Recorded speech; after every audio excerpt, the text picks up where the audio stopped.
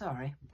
From today, if you want to be a passenger on my bus, or indeed any other form of public transport, you'll have to wear one of these because the government is making it mandatory.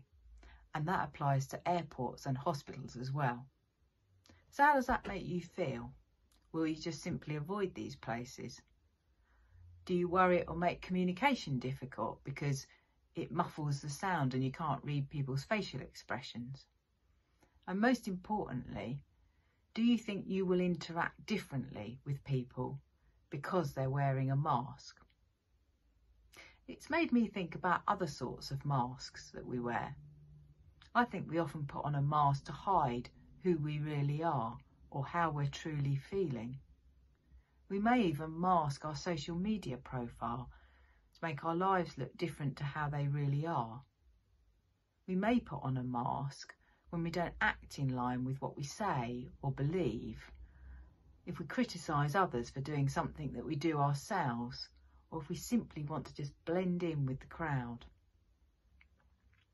Our word hypocrite, which simply means putting on a false appearance while concealing real character traits and inclinations, comes from a Greek word. And it was the same word that was used to describe Greek plays where the actors wore masks. It's very difficult to have deep, meaningful relationships if you're constantly hiding who you are behind a mask. It's hard for people to know the real you.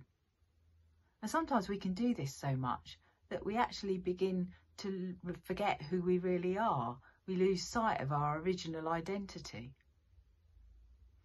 It's also easy to become skilled at pretending to be interested in people, at showing compassion or indignation at injustice.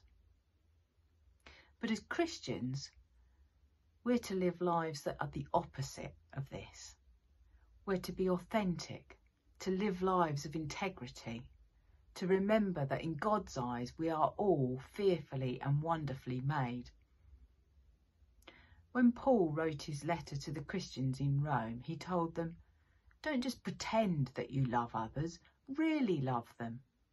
He told them to love each other with genuine affection. Interestingly, the word that Paul used here to describe these things, another Greek word, meant literally without hypocrisy. God calls us to be real to, sin- to be sincere.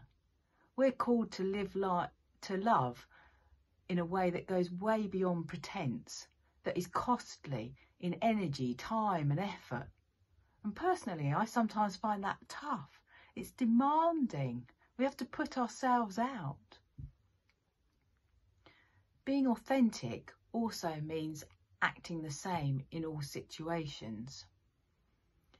For example, being consistent, talking about people in the same way when they're absent as when they're present.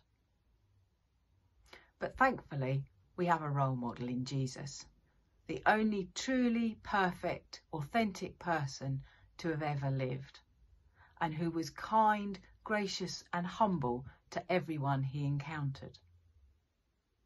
So, as we put these masks on, let's be more concerned about taking our other masks off.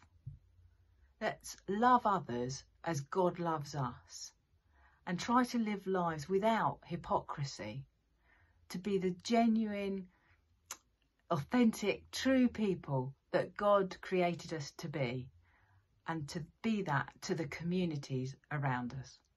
Thanks for listening.